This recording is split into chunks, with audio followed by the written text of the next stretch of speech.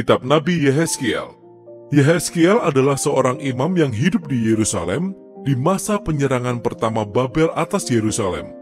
Mereka tidak menghancurkan kota itu, tetapi mereka mengumpulkan gelombang pertama dari tawanan Israel dan membawa mereka ke pembuangan.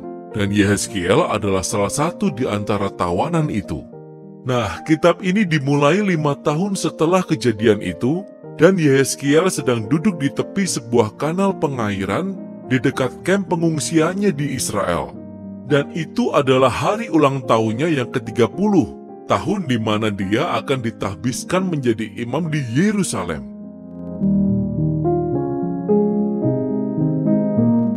Tapi kemudian tiba-tiba Yeskiel mendapat sebuah penglihatan.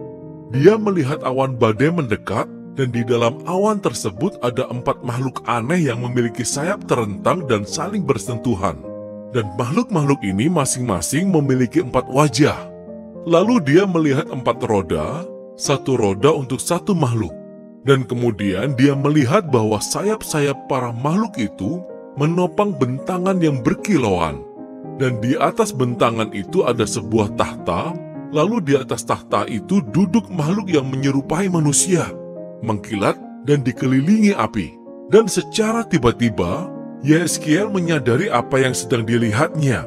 Dia menyebutnya gambar kemuliaan Tuhan. Tuhan mengendarai kereta perang kerajaannya. Nah, kata kemuliaan dalam bahasa Ibrani disebut kafot, yang artinya adalah berat atau penting.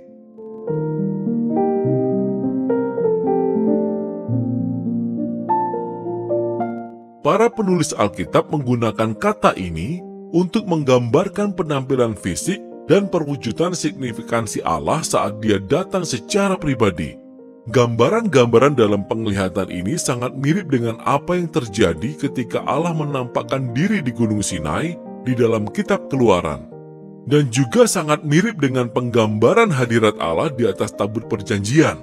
Dan itu sebenarnya adalah hal yang paling mengejutkan tentang visi Yeskiel. Kenapa kemuliaan Tuhan ada di Babel? Kemuliaan Tuhan seharusnya berada di atas tabut perjanjian di bait suci di Yerusalem.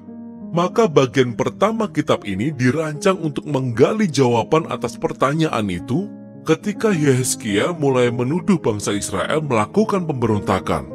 Jadi Allah pertama-tama berbicara kepada Yehezkiel dari tahta keretanya, dan Allah menugaskan Yehezkiel untuk menjadi nabi.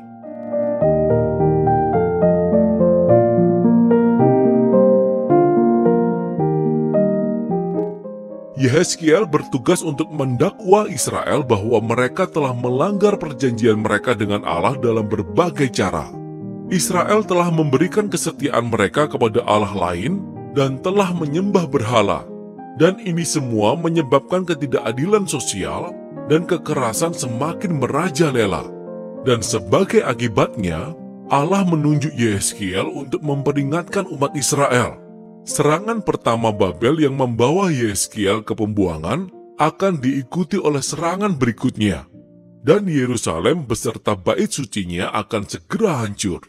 Jadi Yeskiel menggunakan kata-kata dan berbagai cara lain untuk menyampaikan pesannya. Dia juga memperagakan aksi-aksi simbolis dalam bentuk teater jalanan. Yeskiel akan tampil di depan umum dan mulai bersikap dengan cara yang benar-benar aneh seperti perumpamaan dalam nubuatnya. Jadi dia seharusnya membangun sebuah model kecil kota Yerusalem dan kemudian melakukan serangan terhadapnya. Atau dia harus mencukur semua rambutnya dan kemudian memotong-motongnya dengan pedang. Atau yang paling ekstrim, ia memainkan peran kambing hitam pada hari penebusan. Dan dia akan berbaring miring selama lebih dari setahun sambil makan makanan yang dimasak di atas kotoran sebagai simbol makanan najis yang harus dimakan umat Israel selama pengepungan Yerusalem.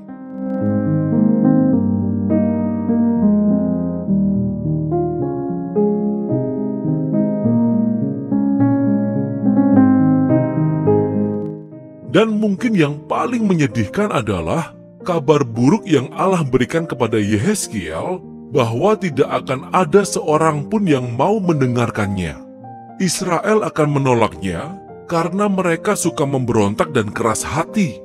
Dan ini mengingatkan kita akan penggambaran Musa tentang umat Israel setelah pemberontakan di padang gurun saat dia meramalkan bahwa pembuangan akan terjadi suatu saat nanti. Dan Yehezkiel mendapatkan kesempatan yang menyedihkan dengan melihat semuanya ini terjadi. Jadi Yehezkiel yang sedang kecewa ini mulai melakukan tugasnya. Dan setelah sekitar satu tahun, dia mendapat penglihatan lain yang ini tentang bait suci. Dia diperlihatkan berbagai bagian bait suci dan dia melihat apa yang terjadi di sana saat dia tidak hadir. Dan itu bukan sesuatu yang baik. Di pelataran luar, di depan bait suci, Yehezkiel melihat patung berhala yang besar. Kemudian dia melihat tua-tua Israel menyembah Allah lain di dalam dan di luar bait suci. Lalu dia juga melihat wanita Israel mereka menyembah dewa Babel yang bernama Tamus. Dan penglihatan itu berakhir dengan kereta takhta Allah yang penuh kemuliaan naik ke atas dan meninggalkan bait suci. Kereta itu pergi ke arah selatan menuju Babel. Jadi di pasal 11, kita akan melihat mengapa dan bagaimana kemuliaan Allah muncul di hadapan Yeskiel di Babel penyembahan berhala oleh bangsa Israel dan pelanggaran perjanjian mereka sudah sangat parah dan menyinggung hati Allah sehingga ia meninggalkan bait suci. Umat Israel telah membuat Allah menjauh sehingga ia menyerahkan mereka kepada kehancuran. Namun Allah tidak mengabaikan umatnya. Sebaliknya, ia pergi ke pembuangan bersama umatnya. Lalu di bagian akhir dari penglihatan ini, yaitu di pasal 11, Allah berjanji bahwa dia akan mengembalikan sisa-sisa bangsa Israel ke tanah perjanjian. Allah akan mengubah hati mereka yang sekeras batu dan memberi mereka hati baru yang lembut, supaya mereka bisa mengasihi dan sungguh-sungguh mengikuti Allah mereka. Ini merupakan secercah harapan namun dengan cepat tertimbun dalam kenyataan bahwa kehancuran akan segera terjadi. Tapi pasal 11 merupakan sebuah transisi kunci yang membantu kita untuk memahami bagaimana kelanjutan kitab ini dirancang.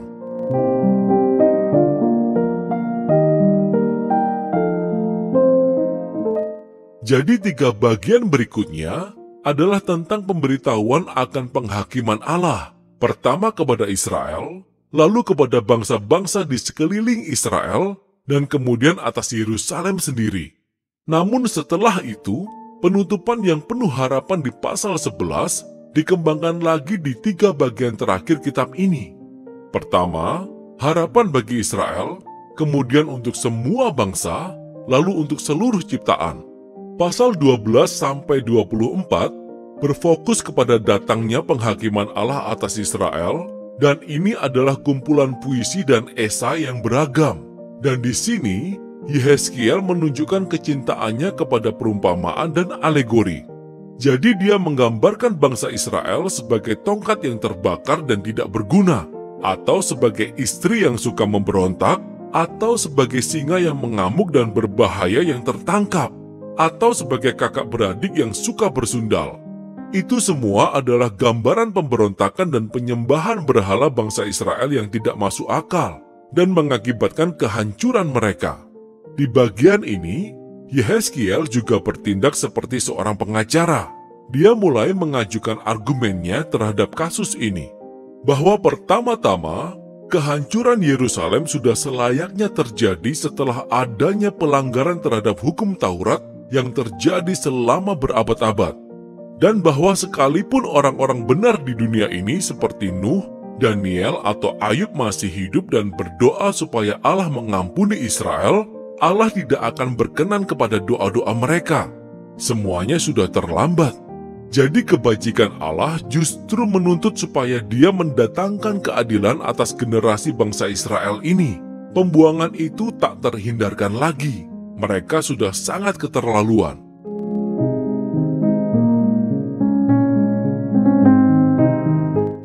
Setelah ini, Yehezkiel berfokus pada bangsa-bangsa di sekeliling Israel, dan kemudian pada dua negara paling kuat di wilayah ini, Mesir dan kemudian Tirus.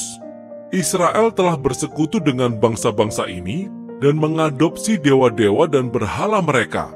Maka Allah mendakwa raja-raja Tirus dan Mesir karena dengan sombong melihat diri mereka sendiri sebagai Tuhan yang bisa menentukan yang benar dan yang salah sesuai pengertian mereka sendiri. Dan Allah menuntut raja-raja ini bertanggung jawab atas keangkuhan mereka. Dan Allah memberitahu bahwa dia akan memakai Babel untuk menaklukkan mereka mereka akan menghadapi keadilan Allah seperti yang lainnya. Kelanjutan dari bagian yang menegangkan ini adalah sebuah kisah pendek di pasal 33. Yehezkiel bertemu dengan seorang pengungsi yang baru saja tiba dari Yerusalem dan dia memberikan laporan kepadanya. Babel telah menyerbu kota Yerusalem. Kotanya runtuh dan bait suci itu hancur. Peringatan suram Yehezkiel telah menjadi kenyataan. Tapi ingatlah bagian akhir di pasal 11, itu bukan akhir dari kisah ini. Nanti di video berikutnya, kita akan mengeksplorasi penglihatan Yeskiel yang dahsyat tentang pengharapan. Tapi untuk sekarang, itulah isi paruh pertama kitab Yeskiel.